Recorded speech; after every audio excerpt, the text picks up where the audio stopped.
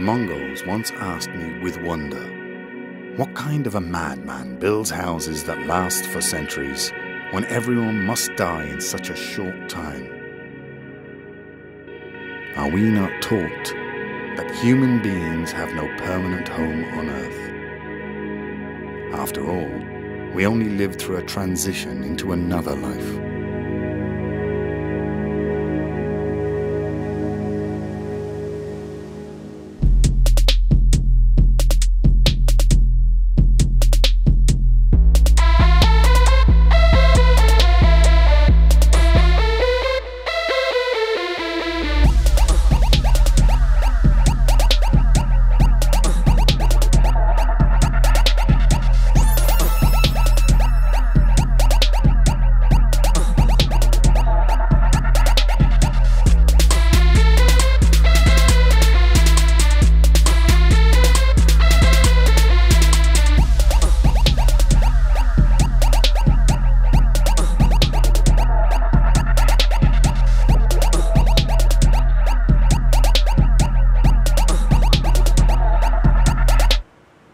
This land that we live in is a valley of grief and suffering.